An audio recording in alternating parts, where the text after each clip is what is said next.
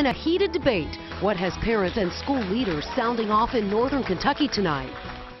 Leading the way, on air, online, and on the go. WLWT News 5 at 11 starts now. Teachers packing heat. It's a hot button issue being considered in Boone County tonight. Good evening to you. I'm Sheree Paolello. Mike Dardis has the night off. Now, this is the second meeting in the last month about this issue. Jackie Congedo was there as parents and staff wanted to weigh in tonight. Jackie.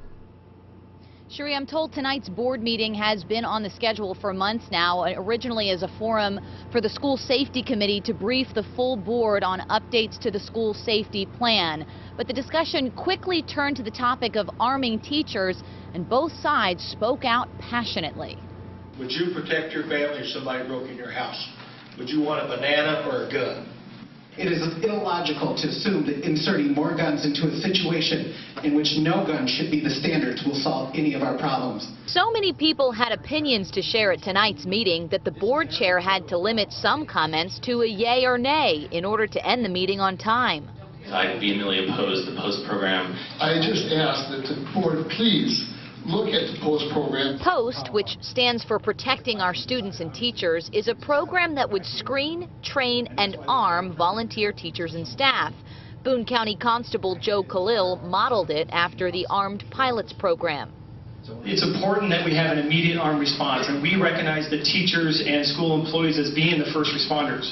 If somebody kicks in or shoots in your door and you're there with your students, you are the first responder because you're the first person that has to react. But tonight, the school safety committee did not include the program in its recommendation to the board. As an educator, I got into this profession to teach, and I'm not necessarily for arming teachers. Our educators are telling us, and the majority of my community is telling me, this is not a plan that they're comfortable with at this time. That didn't sit well with some who had their comments cut short for time. The only thing that's going to mitigate an active shooter threat is equal force. And a fire extinguisher and a pen or a stapler or whatever these other programs suggest aren't equal force to an automatic weapon.